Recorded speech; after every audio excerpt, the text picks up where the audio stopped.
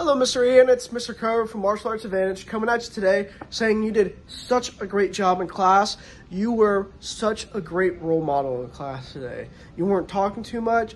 You were focused. You were just awesome today. You were a perfect example of a leader.